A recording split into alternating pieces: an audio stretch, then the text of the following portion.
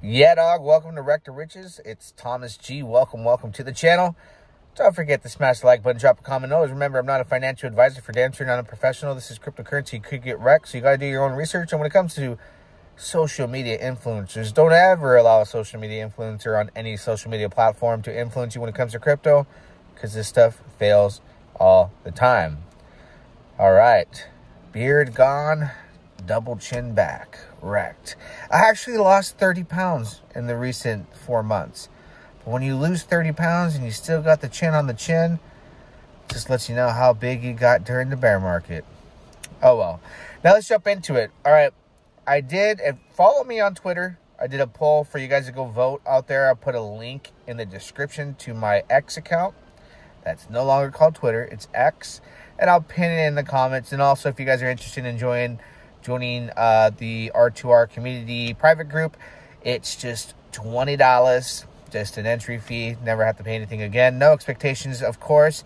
Uh, just in there talking about cryptocurrency with like-minded people. Opportunities will come and go.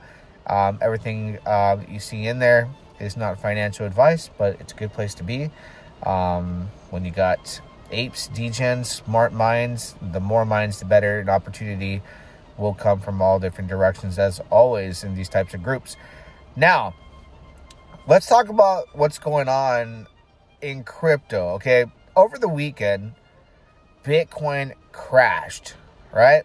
It went down. I was starting to see people go, Black Swan event, this and that's going on, and we're going to 50,000. We're here we go down. We're not going to recover till this. And then um, we got the rally back up and Ethereum was below $3,000.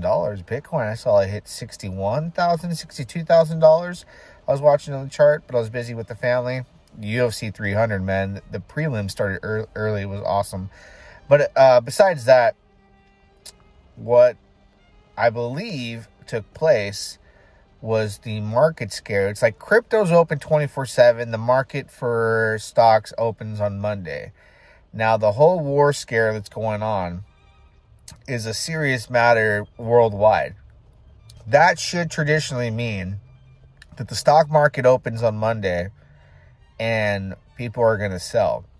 And then the Saudis go into gold and you know, they hedge their money, they hedge their bets, and typically we see gold go up for that reason during war scare times and when war happens. But also last time we had a war scare, thank God there was no war. Um, that money went into Bitcoin. Okay, so it's interesting because I do think that the crypto market front ran that scared, you know, times that happened that we'll experience in the stock market on Monday, but then it rallied. So was that a sucker's rally? It was an opportunity for me. Bought the dip, sold back up. Now I'm back in the stables because I'm thinking that when the stock market opens tomorrow, and give me your feedback because I want to, you know, hear everybody in the comments. I think tomorrow we're going to open up in the stock market. I do think it'll plummet, but things are different now because before cryptocurrency, the crypto market had no correlation or movement when it was in regards to the stock market going up or down, right? Now they move together. When the stock market's doing good, it's good for crypto. When the stock market goes down, Bitcoin goes down as well. That's because Wall Street is more involved in the crypto market today, so times have changed. That's just my personal opinion. You tell me what you think. So, for me, across my wallets, I go sold into the suckers rally, right? I bought the dip, the scare, front ran the the you know the the dip. I think we're gonna have the stock market, but I still think Bitcoin will move down plus the Bitcoin halving. So we're going to have volatility because the Bitcoin halving is days away. Then the war scare. So Monday should be like a really like red day in the stock market is what I predict. I think Bitcoin will go back down to 61, 62. Now, if Bitcoin goes below 60,000, I, I have been thinking we should go back to $55,000 at the very minimum everything's changed because BlackRock's got uh, a lot of money in Bitcoin and MicroStrategy. So Michael Saylor and the gang have been buying Bitcoin on all the dips and have been buying it all the way from the $30,000 range. And um, when the bull market start, starts, we should, you know, pass through 100K, but we're not going to see that till after the Bitcoin halving. So I went into stables because this crash that I think could potentially happen tomorrow, I'm going to use the stables to buy the dip. And then when we rally back up, sell for profits.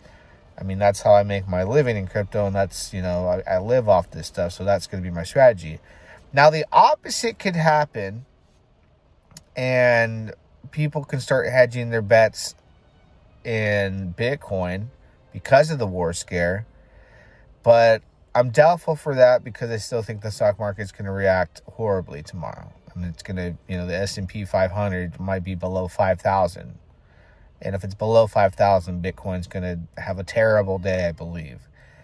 But we'll see. I'm not an expert. I'm speculating and predicting why I'm personally going into stables to wait for this ultimate dip in Bitcoin and then buy that bottom and then sell when we go back up when the smoke settles. As long as I can buy as close to the bottom as possible, then I can slowly ride it up. Or in crypto, sometimes it just goes up right away um, within a New York minute. So that seems like the safest play for me right now. Stable tokens.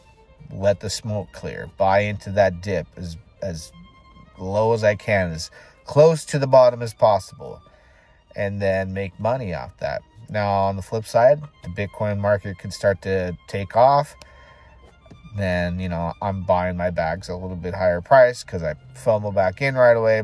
There's a lot of things that can happen. Could get wrecked, could get rich. Wrecked or rich. If you don't try, you'll never get rich. If you do try, you could get wrecked. So these are the risk factors get rich or get wrecked. And it's really just the name of the game. Opportunity of a lifetime is here. The Bitcoin halving on the verge of a huge bull run, I believe, coming up soon. So war is very profitable. It just sucks that so many innocent people have to die um, for people to continue to just do what they do in these markets. I mean, people love the opportunity that war brings. I hear it across the board. I don't like war. I don't want war. But am I going to sit back and do nothing or take advantage of the opportunities that present themselves? So my prediction, the stock market will crash tomorrow. Um, not like a black swan event. If that does happen, great. I'll be in stables to follow the dips in crypto because I believe they move together now. Bitcoin halving volatilities there, so that could even create a bigger opportunity. And then once you buy those bags at a cheaper price, bull market starts, and next thing you know, you two, three extra bag. That's what I'm hoping. So don't forget to pound the like button, drop a comment. Till next time, we'll do it again. Yeah, dog.